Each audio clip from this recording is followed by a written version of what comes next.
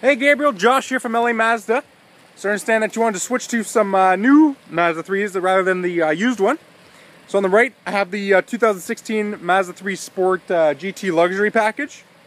And this one here is going to be the uh, 2016 Mazda 3 Sport GT Tech Package, okay?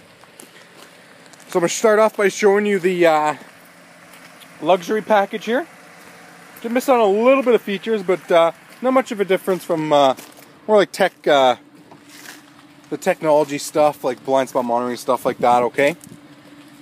So in here, basically be exactly the same as uh, the other one I showed you, other than the uh, change of color in the leather interior. Alright, so there's gonna be no differences on the inside at all. Same sort of features there, you know, the pop-up display there for you with the kilometers.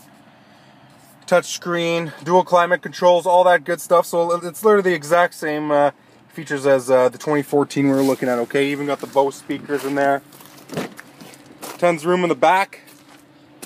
The same feel. All right, you got your car mats back there, backup camera, of course, sunroof, all that good stuff. So differences will be in the tech package here. So you got your Bose and all that, of course. You're gonna have added on the blind spot monitoring okay, which is going to display in your mirrors. The top left corner is going to brighten up orange there when someone's in your blind spot, and if your turn signal's on that way, it'll beep at you in the car. Alright, so you got uh, the blind spot monitoring right there. Automatic uh, front uh, front light uh, leveling, sorry. Okay, so it's going to uh, automatically go down for you as uh, cars are coming towards you. And then you got your lane departure warning, so once you get out of once you're sort of drifting on the lane, you're falling asleep, something like that, it's going to beep at you in the car and let you know. Alright, you got the pop-up display there again.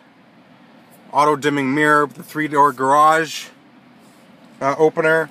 And then same features again there. Uh, dual climate zone, heated seats.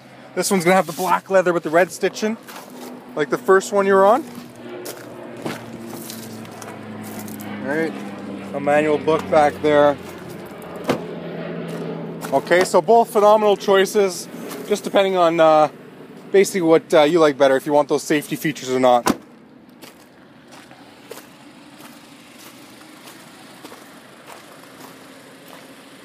So there you have it. Little side view of them both.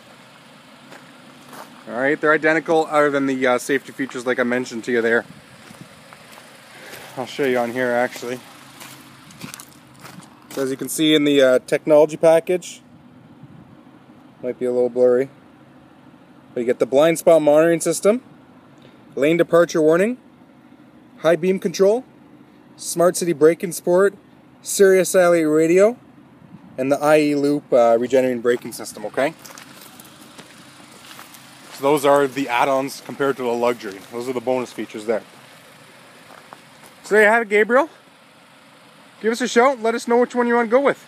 780 986 9665.